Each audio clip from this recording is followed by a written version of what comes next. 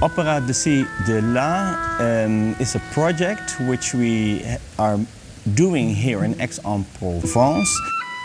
It's built on four different stories with four different people from living in Aix-en-Provence.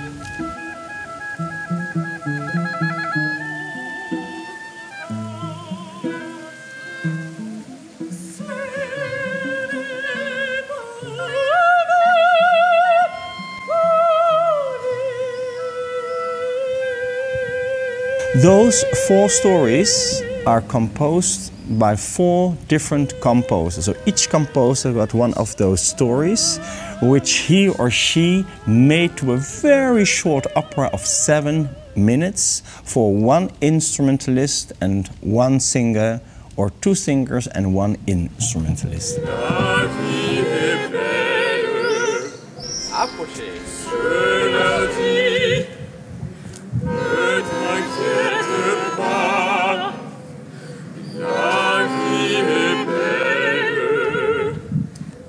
Il me regarde Ahuri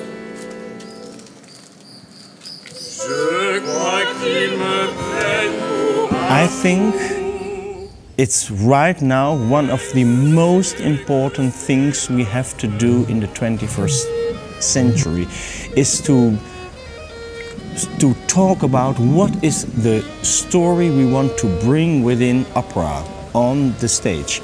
And I think right now it's so important that we are making participation projects that we combine the stories of society which we are living in with young artists.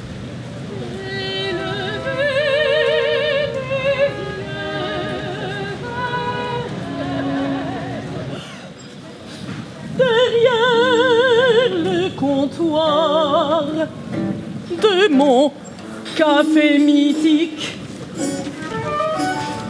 Je vois défiler chaque jour des visages connus comme des gens de passage.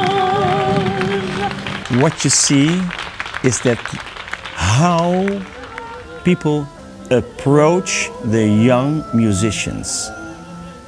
Here in the academy, it is taken so seriously.